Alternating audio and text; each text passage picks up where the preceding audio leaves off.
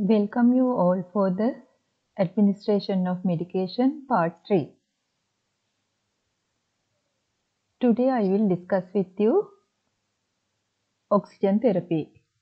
First of all, I would like to discuss with you terminology, very important words.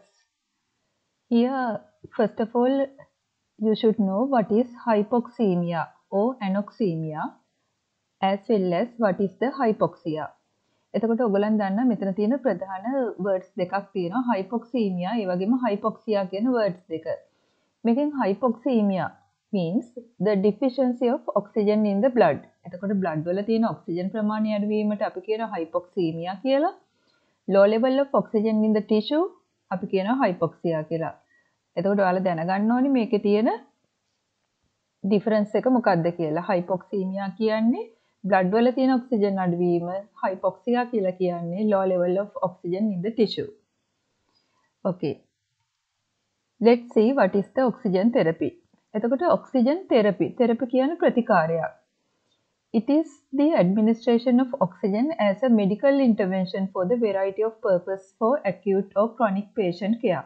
එතකොට අපි මේ oxygen දෙනවා treatment එකක් විදිහට මෙඩිකල් ඉන්ටර්වෙන්ෂන් එකක් විදිහට විවිධ පර්පසස්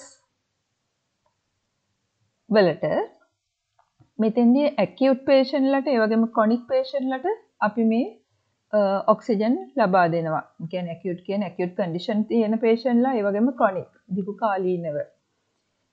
ඇකියුට් කිව තීවර ඒ කියන්නේ කෙටි කාලීන අපි දකිනවා සමහර රෝග තීව්‍ර වෙනවා ඒ වගේම සමහර රෝගීන් දිගු කාලීනව ප්‍රතිකාර ලබනවා.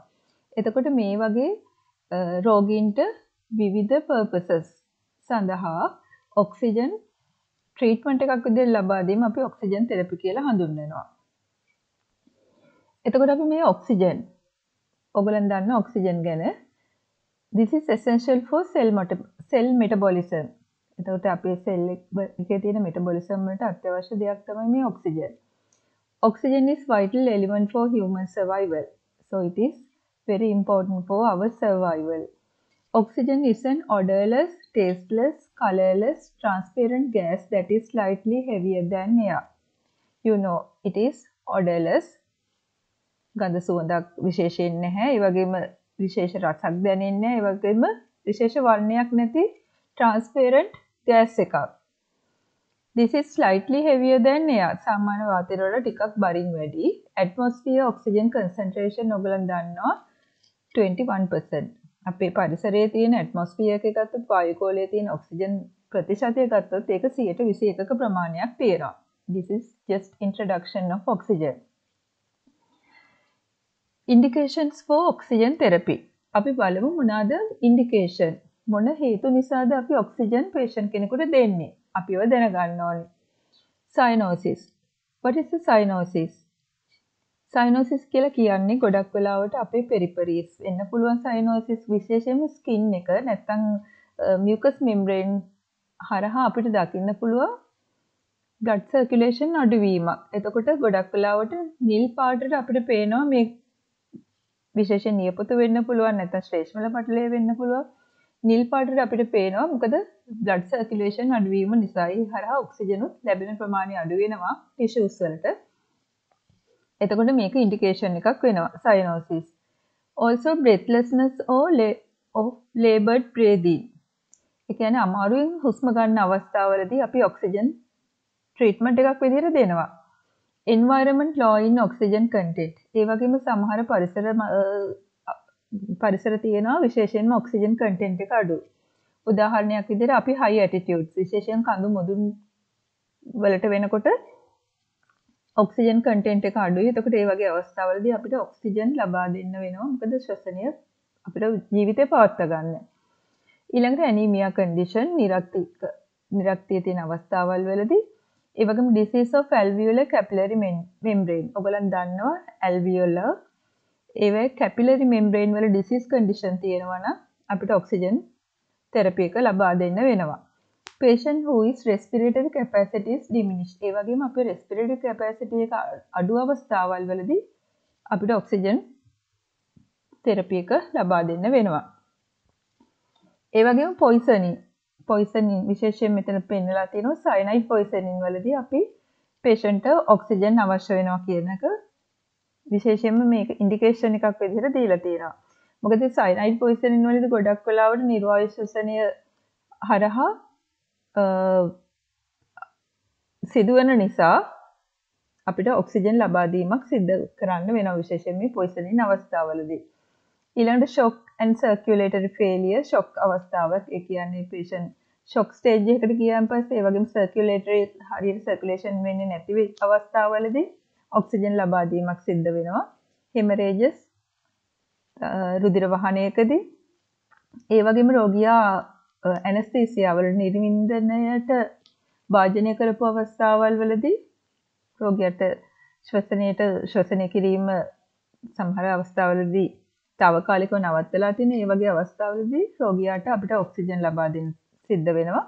ඒ වගේම ක්‍රිටිකලි ඉල් පේෂන්ට්ස් ඒ කියන්නේ සිවියර් ඩිසීස් කන්ඩිෂන් එකක් එක්ක ඉන්න පේෂන්ට්ස්ලට අපිට ඔක්සිජන් ලබා දෙන්න වෙනවා ඒ ක්‍රිටිකලි ඉල් කන්ඩිෂන් එකට ගැලපෙන විදිහට. ඒ වගේම ඇස්පෙක්සියා කන්ඩිෂන් මොනයම් හේතුවක් නිසා හෝ රුධිරයේ තියෙන ඔක්සිජන් ප්‍රමාණය අඩු වෙන විදිහට බ්‍රීත් කරගන්න බැරි වෙන්න පුළුවන්. ඒ වගේ කන්ඩිෂන් වලදී අපිට ඔක්සිජන් ලබා දෙන්න සිද්ධ වෙනවා. එතකොට ඒ වගේ කන්ඩිෂන් ඔගොල්ලෝ නර්සස්ලා විදිහට දැනගන්න ඕනේ කොයි අවස්ථාවලදී අපි රෝගියාට ඔක්සිජන් ලබා දෙන්නේ කියලා. එතකොට I discuss with you some indications on oxygen therapy. ඒ වගේම මේ ඔක්සිජන් තෙරපි එක දෙනකොට hazards. ඔක්සිජන් ඉන්හලේෂන් එකත් එක්ක නිසා එන පුළුවන් hazards අපි දැනගන්න ඕන කියන අනතුරු. විශේෂයෙන් ඔක්සිජන් ඉන්හලේෂන් එක අපි පාවිච්චි කරන සමහරට මාස්ක් වෙන්න පුළුවන් ටියුබින් වෙන්න පුළුවන් මේ දේවල් හරියට අපි පිරිසිදු කරන්නේ නැතුව රෝගීන්ට පාවිච්චි කරොත් මොකද වෙන්න පුළුවන්? ආසාද නැති වෙන්න පුළුවන්. ඊට අමතරව කම්බස්ටන් කම්බස්ටන් ෆයර් එකක් ඇති වෙන්න පුළුවන්. ෆයර් එකක් කියන්නේ ඔයගලන් දන්නා මේකට දහන පෝෂක වායුවක් එතකොට මේ දහන පෝෂක වායුවට පොඩි හරි ස්පාක් වුණොත් එහෙම නැත්තම් ස්මෝක් කරොත් එහෙම ඒ වගේ මොකක් හරි ෆයර් සෝස් එකක් ආපු ගමන් මොකද්ද වෙන්න පුළුවන් වහාම මේක ගිනි ගන්න පුළුවන්. drying of the mucous membrane of the respiratory tract. මේ ඔක්සිජන් ගොඩක් වෙලාවට සිලින්ඩර් එක තියෙන අපි ඒ ඔක්සිජන් තමයි ලබා දෙන්නේ අපේ එතකොට ඒ අවස්ථාවලදී ගොඩක් වෙලාවට මියුකස් මෙම්බ්‍රේන් එක ඩ්‍රයි වෙන්න පුළුවන්. ඒ වගේම ඔක්සිජන් ටොක්සිසිටි අපි එක්සෙසිව් ඔක්සිජන් දුන්නොත් එම් ඕනම දෙයක් ශරීරයට ඕනට වඩා දුන්නොත් එහෙම ටොක්සිසිටි එකක් විෂ වීමකට ලක් වෙන්න පුළුවන්. ඒ වගේම ඇටලැක්ටේසිස් කන්ඩිෂන් එකක් ඇති වෙන්න පුළුවන්. ඇටලැක්ටේසිස් කියන්නේ මොනවද වෙන්නේ? ලංස් කලැප්ස් වෙනවා. විශේෂයෙන්ම ගර්ත අපි කියනවා හැකිලීමකට ලක් වෙන්න පුළුවන්. ඔක්සිජන් ඉන්හෙලේෂන් නිසා. එතකොට මේක අපිට අවශ්‍ය මට්ටමට විතරයි අපි රෝගියෙකුට ඔක්සිජන් ලබා දෙන්නේ. කියන්නේ ප්‍රෙස්ක්‍රයිබ් කරලා තියෙනවා නම් ඒ ප්‍රමාණය තමයි අපි රෝගීන්ට ඔක්සිජන් ලබා දෙන්න ඕනේ. Oxygen induced apnoea. ඊට අමතරව ඇප්නියා කන්ඩිෂන් එකක් ඇති වෙන්න පුළුවන්. ඒ වගේම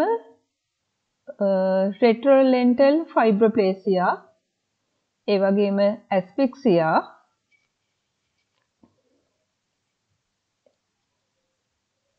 ඇතිවෙන්න පුළුවන්.